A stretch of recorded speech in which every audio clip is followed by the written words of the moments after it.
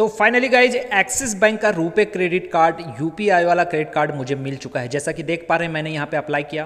Hello guys welcome back to another video guys आज इस video में देखने वाले हैं कि एक्सिस बैंक का अगर आपके पास अकाउंट है तो आप एक्सिस बैंक का रुपे क्रेडिट कार्ड यानी यूपीआई वाला क्रेडिट कार्ड कैसे अप्लाई कर सकते हैं? तो सबसे पहले एक्सिस मोबाइल में लॉगिन हो जाएँगे। लॉगिन होने के बाद प्रोफ़ाइल में जाएँगे। अप्लाई नाउ का ऑप्शन मिल जाएगा। उस पर क्लिक करेंगे। अप्लाई नाउ वाले ऑप्शन में देखेंगे, बहुत सारा ऑप्शन आपको देखने के लिए मिलता है। तो सबसे फ़र्स्ट ऑप्शन जो क्रेडिट कार्ड का रहता है, उस पर क्लिक करना है। उसके बाद आपको यहाँ पर कुछ इस तरह का इंटरफेस देखने के लिए मिल जाए। यहाँ पे वीडियो के लास्ट तक बने रहे। मैं स्टेप बाय स्टेप आपको बताने वाला हूँ कि क्रेडिट कार्ड कैसे अप्लाई करना है। तो इस तरह का ऑप्शन मिलेगा गेट स्टार्ट का ऑप्शन मिल जाएगा, उसको क्लिक करेंगे। अब यहाँ पर देखिए, कुछ इस तरह का इंटरफेस आपको देखने के लिए मिल जाएगा। देखिए, यहाँ पर आपको देखने के लिए मिलेगा Indian oil Axis bank credit card enabled UPI. देखिए, पहले लिख रहा है, यानी यूपीआई से इनेबल पहले किया हुआ।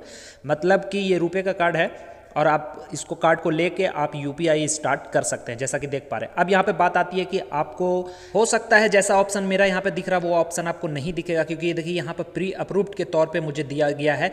मतलब ये कार्ड टू कार्ड बेसिस पे है। मतलब मेरे पास फ्लिपकार्ट एक्सिस बैंक का क्रेडिट कार्ड है, उसके बेसिस पे ये प्री अप्रूव्ड दिया जा रहा है और जो लिमिट है वो डिस्ट्रीब्यूट हो जाएगा। अब आपको भी यहाँ पर इसी तरह का ऑप्शन दिख रहा है तो अप्लाई कैसे करना है? ये सिंपल तरीका देखिए, यहाँ पे बताते हैं गेट नाउ का ऑप्शन मिल जाता है, उस पर क्लिक करेंगे तो यहाँ पर सबसे पहले एड्रेस सेलेक्ट करने का ऑप्शन आएगा। एक बात याद रखिए कि जो पहले क्रेडिट कार्ड आपका एड्रेस पे आया था, उसी एड्रेस यहाँ पे शो होगा, वही एड्रेस को सिलेक्ट भी करना है, ठीक है?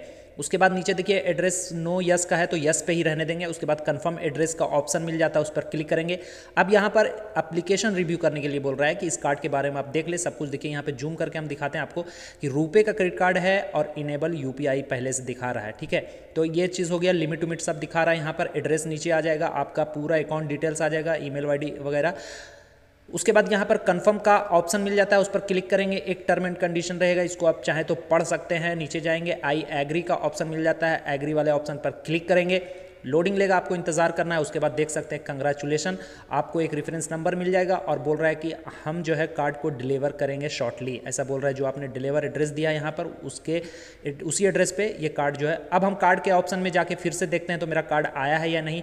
तो देखिए, जैसे ही हम क्रेडिट कार्ड वाले ऑप्शन में जाते हैं एक्सिस बैंक मोबाइल एप्लीकेशन में तो देखिए, यहाँ पर पहले से मेरे पास दो कार्ड है न्यू क्रेडिट कार्ड और फ्लिपकार्ट अब बीच में देखिए, एक कार्ड यहाँ पर शो हो रहा है। अभी मैंने इनको अनबॉक्स करना है मतलब कि यहाँ पर अनबॉक्स करके सेटअप करना है। तो देख सकते हैं, ये तुरंत मुझे मिल गया।